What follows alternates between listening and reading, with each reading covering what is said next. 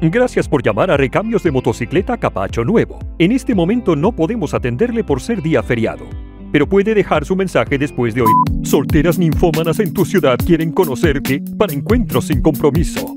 Llama ahora para hablar con ellas totalmente. Con esta inversión en criptomonedas puedes ser tu propio jefe y disfrutar de un nivel de vida sin igual. Yates, viajes, masajes, caviar. Pregúntame cómo llamando al 777-23. Jesucristo te ama.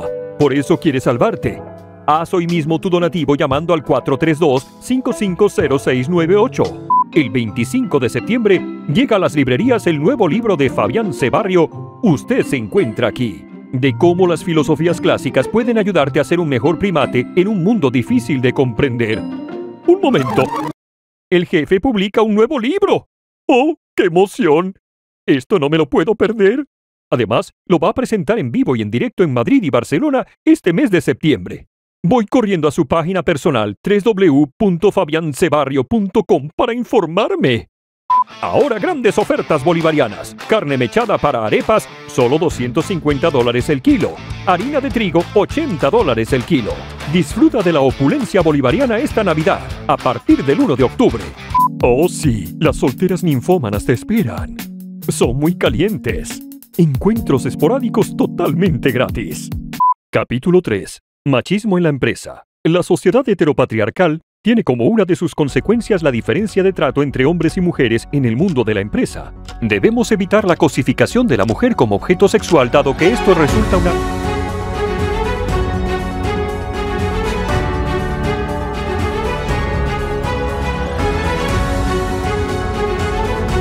Una anciana rumana descubre que usaba de cuña para una puerta una piedra valorada en un millón de euros. Instagram censura una portada de Interview de 1998 de Marlene Moreau. Una despedida de soltero se salda con 17 divorcios y sin matrimonio. Unos investigadores crean una pomada a base de doritos que hace transparentes a los ratones.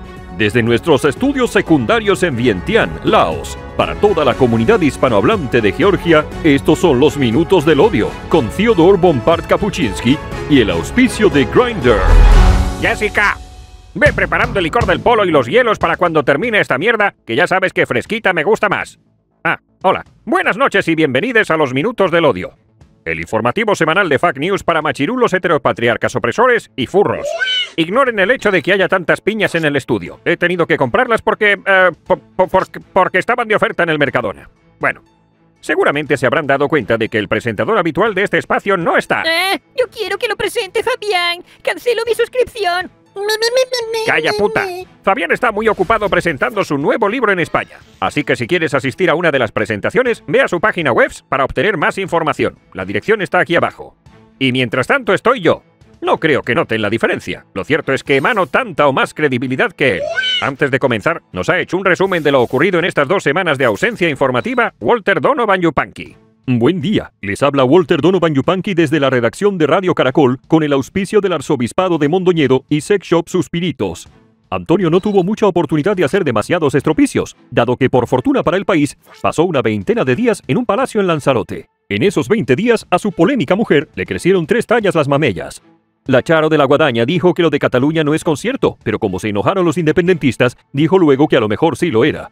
Antonio a continuación Resurgió de sus cenizas, se fue a África y se puso a legalizar inmigrantes a cambio de que le votaran en las próximas elecciones. Luego defendió otra cosa, y de los creadores de que el virus no existe para una manifestación feminista, pero dos días después hay que meter en la cárcel a quien no lleven a Sobuco. De que la amnistía es inconstitucional, pero luego es necesaria para la convivencia. De que el cupo catalán es injusto, pero después necesario. Llega ahora que pedir la expulsión de inmigrantes ilegales es racista y xenófobo si lo dice Abascal, pero si lo dice él, es un ejercicio de responsabilidad.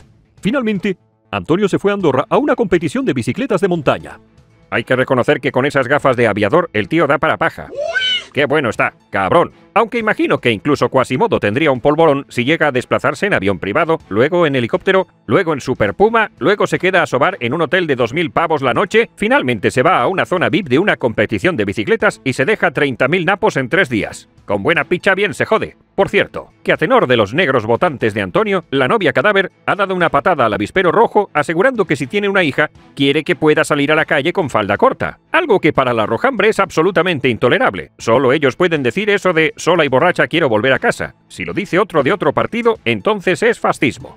Alsina, mientras tanto, preguntaba a la raposa sobre esta maniobra del sanchismo para traerse negros baratos y quedaba en evidencia que el día que lo creó, Dios estaba levemente distraído. ¿Inmigrantes o no? Nosotros necesitamos eh, inmigrantes regulares en España, sí. ¿Por qué? Porque tenemos eh, zonas y actividades económicas en las que necesitamos mano de obra. Hostelería, construcción, pesca, agricultura.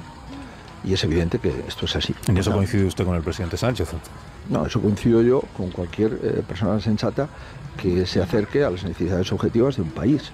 Y por eso nosotros... Porque al presidente le han reprochado que por haber dicho justamente eso mismo, que España necesita mano de obra inmigrante, haya generado un efecto llamada. Sí, es que pero usted, con la mayor crisis de inmigración usted irregular... usted también ha generado un efecto llamada ahora. Al regresar de su monacal retiro espiritual, Antonio, con energías renovadas, ha anunciado uno de esos congresos súper transparentes que organiza la Sociedad de la Nieve de vez en cuando para hacer rodar cabezas. En la cuerda floja se encuentran lambán, tudanca, espadas, barbudo, lobato y paja. Porque no se puede combatir el fascismo si hay gente tocándote los cojones. ¡No se puede combatir el fascismo si hay gente tocándote! ¡Los cojones! En el ámbito judicial, el Putisó está de enhorabuena porque ha conseguido colar a una pijo progre de jueces y juezas para la pedrocracia en la presidencia del CG Pajote.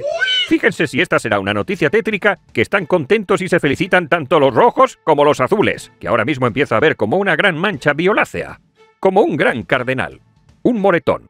Para Félix Bolaños, la gran noticia es que la presidenta tiene valleye, sin duda algo de crucial importancia para poder desempeñar su cargo. Como la flamante presidente es disidencia controlada, lo primero que ha hecho ha sido disentir controladamente. Señor, este Consejo tiene ante sí otro gran reto, defender la independencia judicial, piedra angular de nuestro Estado de Derecho. Es una de las funciones que el Consejo General del Poder Judicial va a desempeñar. Ningún poder del Estado puede dar indicaciones, instrucciones a los jueces y magistrados sobre cómo han de interpretar y aplicar el ordenamiento jurídico. Les explico cómo va a funcionar la cosa. Ahora mismo esta tipa y Broncano van a estar exactamente dos semanas intentando parecer independientes y tal vez incluso desafiando levemente al gobierno, pero todo en apariencia, de boquilla con el beneplácito de Antonio. Y cuando la gente se haya olvidado de ellos, se plegarán a las exigencias del putisoe como cualquiera que tiene un carguito. Y si no me creen, al tiempo. En la apertura del año judicial dio también un discurso el fiscal general del Estado, que tuvo los santos huevos de soltar lo siguiente. En todas las democracias occidentales, también en la nuestra, la repercusión mediática del proceso penal convierte en ocasiones a este en un instrumento de confrontación, mucho más allá de su inicial y trascendente importancia, la de descubrir el delito y perseguir al delincuente. El sistema, lo hemos dicho en numerosas ocasiones, no funciona en el contexto actual. A las carencias estructurales de la justicia española se suma un procedimiento que tuvo su razón de ser en unas coordenadas decimonónicas, pero que ahora no es eficaz, ni eficiente, ni garantista. ¡Ah! España necesita un cambio de modelo procesal, ya que la repercusión mediática de algunos juicios lo convierten en un instrumento de confrontación. Y esto, esto, lo dice el pavo, que tiene problemillas con la justicia por filtrar información de un ciudadano privado a los medios de comunicación y que mientras filtraba cosas privadas decía que había que apurarse para que no le ganaran el relato. ¡Manda cojones! El de la pija progre no ha sido el único nombramiento de bulto esta semana. El exministro Escribá, el héroe del pajaporte, se ha hecho con el control del Banco de España. Este señor no es solo el artífice del carnet de manubrero, no. Él fue quien introdujo reformas en el sistema de pensiones y es el responsable de la implantación del ingreso mínimo vital. Y ahora desde su puesto de poder en el Banco de España, le va a tocar hacer un análisis imparcial y sincero de la viabilidad de estas reformas. Es decir, es el profesor que además hace el examen y lo corrige, igual que un independentista convocando un referéndum. Como Antonio siempre tiene la hemeroteca para recordarle su pasado casquivano, aquí tiene lo que pensaba antes de lo de politizar las instituciones. Le reconozco que nosotros cometimos, por ejemplo, en, la pasada legislatura un error y es eh, nombrar de gobernador del Banco de España pues, a un ex responsable político como Miguel Ángel Fernández Ordóñez. Fernández Ordóñez, recordarán ustedes, era secretario de Estado de Zapatero y en aquel momento aquello fue un revuelo del copón, porque eso de que un político del gobierno pegue el salto inmediatamente del gobierno a una institución que tiene que fiscalizar al gobierno solo pasaba en la época de Franco quien entre pantano y pantano puso al frente del Banco de Borbonia a su ministro de Hacienda, y ahora se retoma con Escribá la vieja costumbre franquista. Escuchen al ministro de Economía. Eh, por lo menos no hemos tenido eh, la ocasión de escuchar un eh, con Franco esto no pasaba, ¿no? Eso yo creo que tenemos que, que agradecerlo. Pues sí que pasaba, igual que ahora. Pero esta no es la única polémica que ronda este nombramiento. Primero resulta que Escribá aprovechará su cargo para, empleando de excusa el feminismo paritario, echar a gente que le cae mal, realizando una caza de brujos. Lo segundo y más grave, que según un diario fascista franco-pantano, Escribá oculta patrimonio y tendría una sociedad instrumental que emplea para pagar menos impuestos. Ustedes son muy jóvenes, pero Antonio cuando llegó al poder hace seis años echó a patadas a Maxim Huerta precisamente por eso mismo. Esto les da una idea de la dilatación de upite que Antonio ha sufrido en estos últimos seis años. Escuchen al Antonio de la hemeroteca. Y es que en mi caso, si yo tengo en la Ejecutiva Federal de mi partido, en mi dirección, a un responsable político que crea una sociedad interpuesta para pagar la mitad de los impuestos que le toca pagar, esa persona al día siguiente estaría fuera de mi ejecutiva. Ese es el compromiso que yo asumo con mis votantes y también con los españoles. Para que se hagan una idea del mérito que tiene Antonio a la hora de vampirizar las instituciones, quiero que vean un listado de cómo se encuentra la situación en este momento.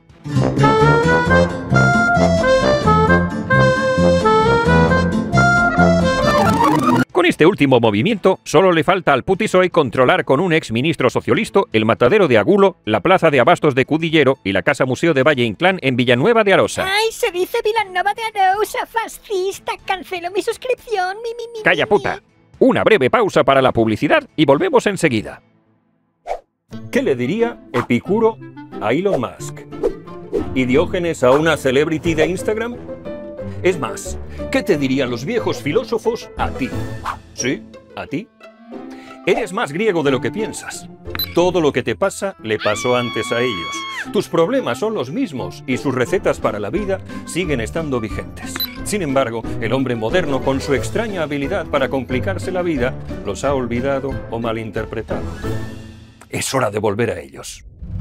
El escritor y aventurero Fabián C. Barrio ha recorrido el mundo en busca de respuestas y las ha encontrado en los filósofos clásicos, cuyo pensamiento ha modelado quienes somos hoy.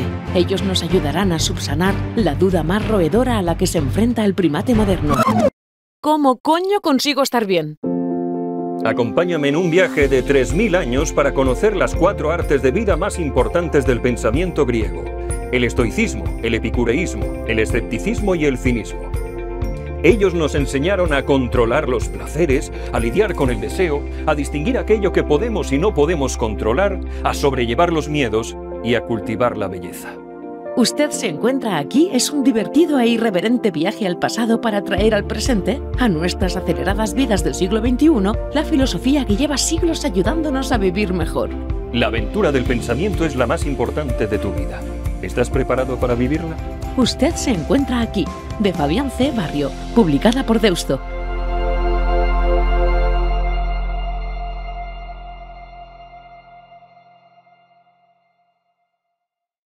Estos nombramientos coinciden con el arranque del curso político, marcado por un discurso de Antonio que solo resulta tolerable porque miente más que habla, y es muy probable que no lleve adelante ninguna de las barbaridades que dijo en él. Para empezar, Antonio se jactaba de estar al frente de un gobierno moralmente intachable. ¡Moralmente intachable! ¿Moralmente intachable?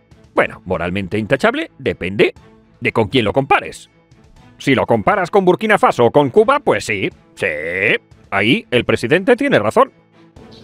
Hoy hay un gobierno limpio que nació hace seis años, después de una moción de censura, como respuesta a la corrupción, a la quiebra territorial y a los recortes del estado del bienestar. A ver, lame paredes, pisa verdes, pega mocos, chupa chicles. Vamos a creernos por un momento eso de que los ataques a la pobre presidenta Vergoña y a tu hermano el portugués errante son todos una ensoñación de la ultraderecha. ¿En qué punto de ese gobierno transparente y comprometido contra la corrupción dejamos tu apoyo a los catalanes mangadores? ¿Y las reformiñas que has hecho para exculpar a los políticos que roban? ¿Y los andaluces que han extraviado ya no se sabe cuántos millones y aquí no ha pagado nadie el pato? Siguiente perla de la sanguijuela mala sangre. Borbonia tiene un problema de vivienda por las políticas franquistas de las últimas décadas. Comprar o alquilar una vivienda, sobre todo en las grandes urbes, es una misión imposible para amplias capas de nuestra población. Por tanto, tenemos que hablar claro. Porque si España hoy tiene un problema de vivienda, es por el fracaso de las políticas neoliberales que se han practicado durante las últimas décadas. A ver, Fofisano, Malandrín, Tubérculos o Plagaitas, que lleváis gobernando 14 de los últimos 20 años. ¿Qué cojones de políticas franquistas? Tú mismo llevas seis años dando palos de ciego, montando ministerios de charos e indultando zascandiles. Y lo que habéis conseguido con vuestra puñetera manía de meter la mano en todo es joder todavía más el mercado. Llevamos 10 años construyendo menos de lo que el país necesita, porque las administraciones tenéis el suelo agarrado como garrapatas y convertís cualquier proyecto inmobiliario en un infierno burocrático. Mira este gráfico, muñeco zurdo apocalíptico. ¿Te parece normal? Viviendas públicas, dice el muy chupacharcos. ¿Cuáles? ¿Qué viviendas? ¿Esas 100.000 que ya estaban terminando de colgarles los percheros o las 250.000 que llevas dos años prometiendo? ¿Quieres resolver el problema de la vivienda? Mira lo que hace mi ley. Cenutrio apaga fuegos ha quitado todos los impedimentos legales del alquiler y la oferta se ha disparado un 200% en Buenos Aires y el precio ha bajado un 20%. Pero no.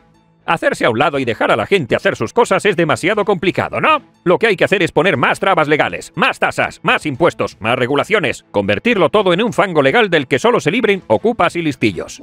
Bueno, voy a calmarme. A ver qué más dice este cazurro rompebotas.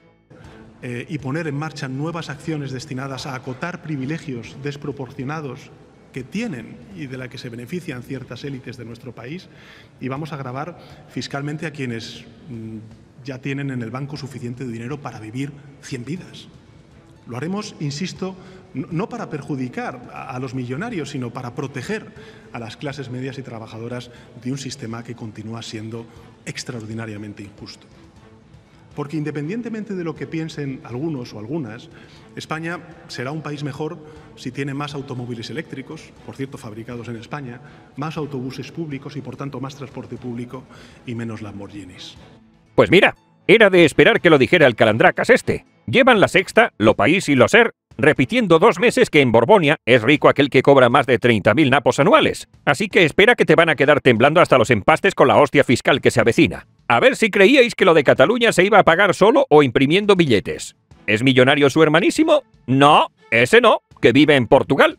A ese le importa un cojón que le suban los impuestos a los ricos en España. Ese se ha pirado, como cualquier millonario que tenga al menos un dedo de frente. Lo de los Lamborghinis, pues no sé qué quieren que les diga. En España se matriculan unos 30 al año. Si crees que la fiesta te la van a pagar 30 pringaos, vas listo tú. ¡Ay, manipulador fascista! Te paga Alianza Popular. No todos los ricos tienen Lamborghini. Canceló mi suscripción. Calla, puta. Pues me valen los datos de lo país. Dice lo país que hay 850 ricos que podrían comprarse un Lamborghini. Es decir, Antonio dice que tocándole los cojones a 850 personas, estos van a pagar las necesidades de 47 millones. Para que nos lo aclare, vamos a hablar con el mismísimo presidente, Antonio I el Prometedor. Aló, presidente. Eh, mm, como me gustaría ser un pollo para, para encularme y hacerme sudar. No, no, no, no, no, a mí no me vengas con tonterías, que yo no soy el blandurrias del Fabián Cebarrio. A ver, desgraciado chupabotones, aclárame, ¿qué cojones pasa con los Lamborghinis? Que acabaremos por prohibirlos para ver si Así terminamos de espantar a los últimos ricos que queden con... Entonces, si he entendido bien, tu plan sin fisuras es acabar con la gente que tiene pasta e importar negros. Eh... Claro, Kapuczynski, porque los ricos no nos votan. Pues nada, bebe cuescos, a pastarla por ahí. Pues si se puede. Ahora que el measábanas mamacayos este diga que mejor en transporte público, considerando cómo está el tema de los trenes en Españita, que día sí y día también descarrilan, se averían o se incendian dejando a todo Dios en la estación con cara de gilipollas, ya me dirás. Así es el socialismo. Te invita a emplear un transporte público al borde de la desintegración senil, un pavo que para trayectos de más de 50 kilómetros se coge el Falcon y para trayectos de menos el Super Puma. Y que usa un coche de medio millón de pavos. Hay que tener cara de titanio de ese que se usa en las prótesis de cadera. Antonio tiene todos los motivos del mundo para sentirse orgulloso. Este ha sido el mes de agosto que más empleo ha destruido de la historia, debido fundamentalmente a que el gobierno ha dejado de contratar innecesariamente a gente a lo loco. Pero no se preocupen, eso lo solucionan en septiembre sacando más plazas para gente que luego en la ventanilla te diga que te falta una fotocopia y que pidas vez otra vez para dentro de tres meses. Sin embargo, este espectacular incremento del paro ha sido justificado por la vicepresidenta y ministra de Empleo Lady Paro en reciente rueda de prensa. ¿La culpa de que se destruya empleo? No es del gobierno, es siempre de los empresarios. Si se destruye empleo bajo un gobierno socialista, es bonito. Donde no sube el paro es entre los altos cargos de la administración. Dado que el gobierno de Antonio se ha convertido en una agencia de colocación kirchnerista, se cerró con 433 altos cargos y 1.174 asesores en ministerios, organismos autónomos, agencias estatales, autoridades administrativas y demás pesebres, lo que supone un crecimiento del 58% con respecto a 2017. En Madrid, doña Rogelia ha hecho el subnormal por partida doble. Primero anunciando que prohibirá los patinetes en toda la ciudad porque al parecer alguien atropelló a una vieja o algo. Hasta ayer, el tío defendía que todos fueran libres y que su modelo de patinetes, vituperado injustamente por la izquierda, era el futuro ecosostenible y vegano de la ciudad.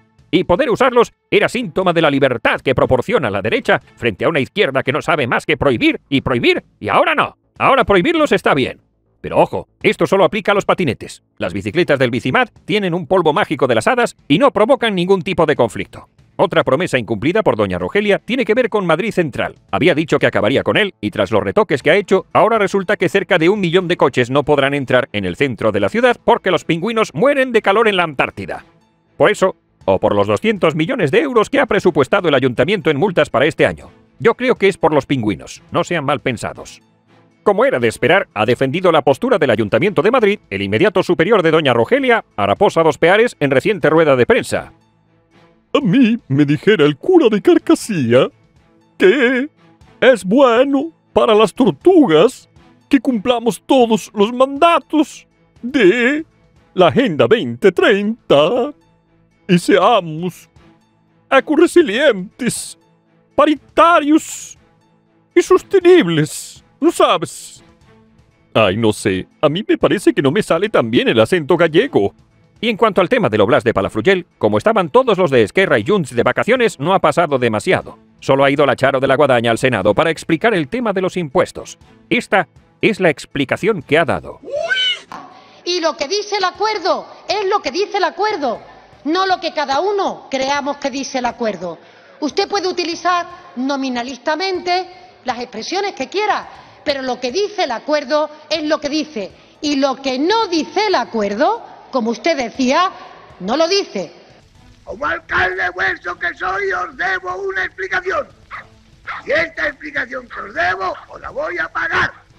Yo no sé a ustedes, pero a mí me ha quedado diáfanamente claro. Y mientras todo esto ocurría, se colaba en los titulares mi amiga Jessica, una chica de moralidad intachable que están viendo en sus pantallas acompañada de mi casi hermano Ábalos. La noticia, que no veo por qué tiene que ser noticia, la verdad, es que cobraba un salario, algo totalmente normal, dado que desempeñaba una imprescindible labor en la empresa pública INECO, dependiente del Ministerio de Transportes, Movilidad y Agenda Urbana, bajo la dirección de Ábalos en aquel momento. También se dice, se afirma, que Jessica pedía a mi amigo Ábalos 1.500 euros al día por desplazamientos. Poco me parece considerando sus habilidades de traducción del francés y el griego. Lo cierto es que yo pongo los cojones en el fuego por Ábalos. Él es una persona íntegra y desde luego ultra feminista. Si no, miren. Soy feminista porque soy socialista.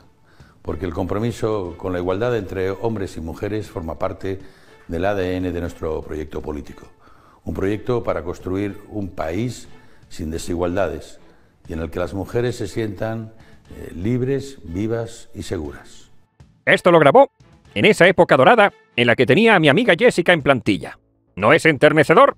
Y en las noticias de las provincias españolas de ultramar, el régimen de Nicolás Maduro ha emitido una orden de detención contra su rival político, porque no se puede combatir el fascismo si hay gente tocándote los cojones. Hostia, ¿de qué me suena esta frase? No se puede combatir el fascismo si hay gente tocándote los cojones. Vito Quiles o la cólera de Dios ha querido preguntar al forúnculo argentino que ha gemado de Cataluña en común por el asunto, y de repente al portavoz le ha dado un apretón. Portavoz, preguntarle qué le parece que el régimen de Maduro haya ordenado el arresto del líder opositor, Edmundo González. Perdón, tengo que salir porque me dicen que entra la siguiente persona. Bueno, muchas gracias.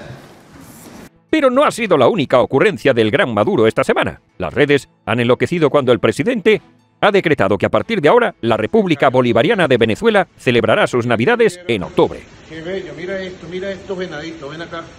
Mira estos venaditos, mira estos venaditos. Mira qué detalle tan bello, ¿eh? Otro momento inolvidable protagonizado por Maduro fue esta intervención al lado de su novio Monedero en la que teorizaba sobre dónde se fabrica la Internetes. ¿Quién es el único país del mundo que produce el Internet? De todo el planeta. No sabía. ¿Ustedes saben? ¿Quién es el único país del mundo que produce el Internet? dónde se produce internet en el planeta. No saben, mira, un poco de muchachos aquí, como de 20, 30 años, o 40, ¿no?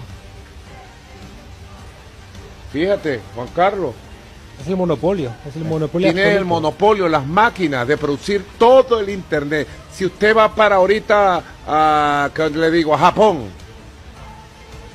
o se va a, ¿a dónde, chico? A Siberia, y se conecta allí en una cuenta wifi, ese wifi que tiene ahí, ese internet, que le llegue allá tan lejos, viene de las máquinas de internet de Estados Unidos. Y seguro que me dejo muchas noticias en el tintero, pero me suda el rabo moreno que me lo reprochen con furia porcina en los comentarios. Lo cierto es que estoy hasta los cojones de todos nosotros. Hasta aquí los minutos del odio de hoy. No olviden nombrar a todos sus amigos en cargos de confianza como si su gobierno fuera la mafia. Cuelguen de los cojones a los ricos o arránquenle las tripas para que no vuelvan a producir un solo huevo de oro. Abran sociedades instrumentales para desgravarse el IVA de la luz. Celebren las navidades cuando les salga de los santos cojones. Coman gusanos, sean resilientes, veganos, ecosostenibles y planchen de madrugada. En definitiva, sean subnormales. Un abrazo con arrimón de puta. ¡Viva México, cabrones! ¡Sí se puede! Y ahora limpiar el sable, Jessica.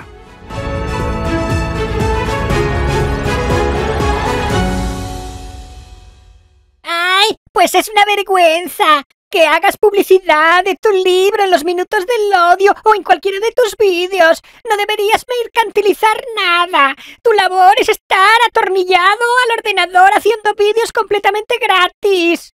¡Qué asco! Otro youtuber asqueroso que pretende ganar dinero. ¡Ah!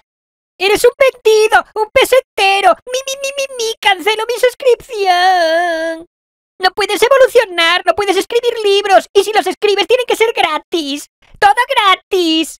Sigue publicando vídeos, no monetices nada, no saques dinero de nada. Pesetero, qué asco. Ah. Y además con ese ruido del cerdo, que no lo aguanto, no lo soporto, no lo quiero. Quita el ruido del cerdo. Opina lo que yo diga. No hables mal de Vox, no hables mal de Díaz Ayuso. Te paga Soros, ¡Que paga el putisoe. ¡La tierra es plana! ¡No me gusta Kapuchinsky! ¡Tienes que hacerlo tú! ¡No tengas vacaciones! ¡Mi, mi, mi, mi, mi! ¡Haz lo que a mí me apetezca! ¡Haz los vídeos que yo quiera! ¡Cancelo mi suscripción!